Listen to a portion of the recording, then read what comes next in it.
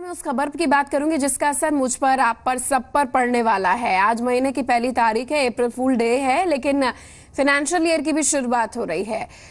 और आज एक अप्रैल, यानी कि नए फाइनेंशियल ईयर का जो पहला दिन है, इकतीस मार्च से एक अप्रैल के बीच चंद घंटों से बहुत कुछ ही बदल गया जो कुछ ही टाइम था।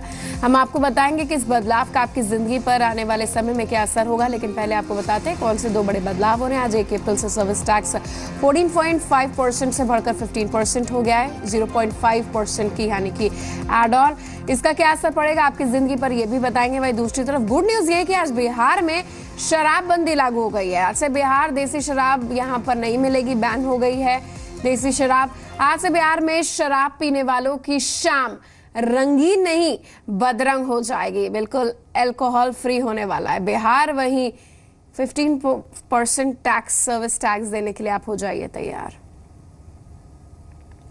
आपकी सैलरी 31 मार्च को क्रेडिट हो गई होगी। बहुत खुश मैं थी सब लोग होंगे कि सैलरी भाई क्रेडिट हो गई। लेकिन अब खर्चा भी तो बढ़ गया।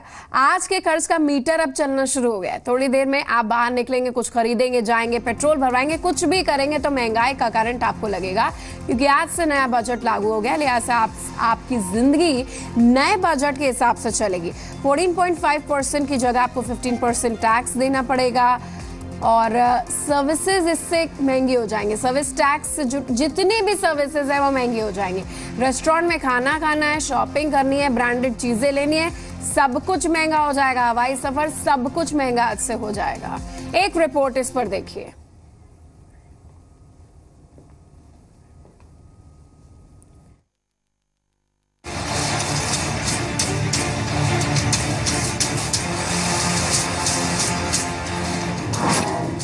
आज अप्रैल की पहली तारीख है।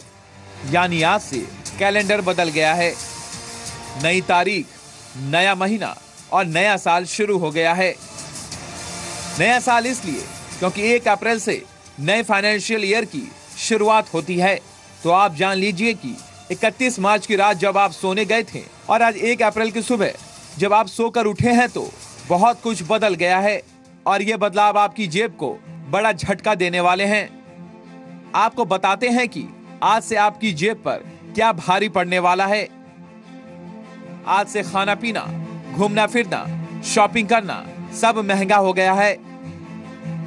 गहने खरीदना, मूवी देखना या फिर ब्यूटी पार्लर जाना सब पर सर्विस टैक्स की और मार पड़ने वाली है। आज से सर्विस टैक्स चौदह दशमलव पाँच फ़ीसदी की जगह पंद्रह फ़ीसदी हो गया है। यानी सभी सर्विसेज़ महँगी हो गई हैं।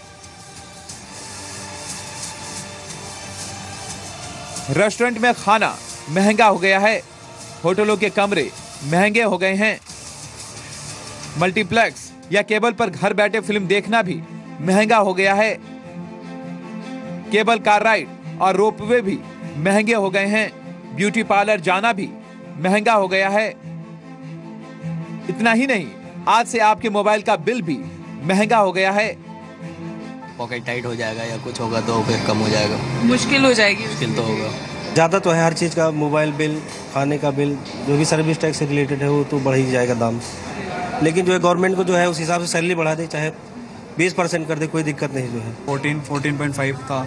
अब बहुत बढ़ गया है लग रहा है कि कम करना पड़ेगा। अब हमें ये सिलेक्शन करना पड़ेगा कि कौन से सिनेमाज में मूवी कैसे कौन सी देखनी है।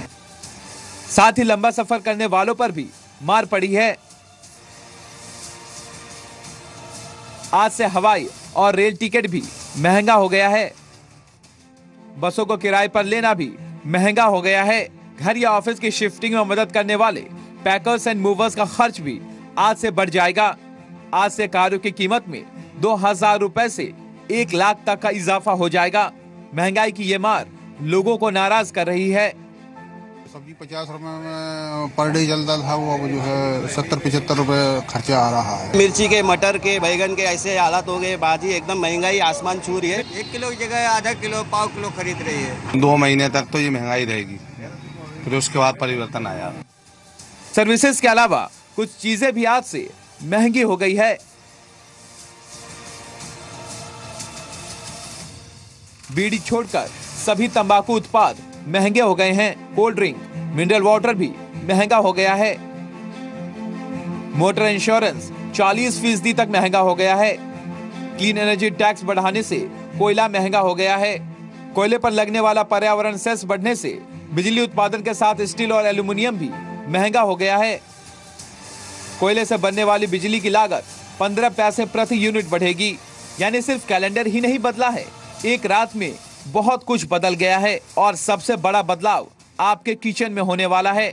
अगर आप सब्सिडी वाला सिलेंडर लेते हैं और आपने अपना आधार नंबर लिंक नहीं करवाया है तो आज से आपको सब्सिडी का फ़ायदा नहीं मिलेगा। Bureau report, India 24/7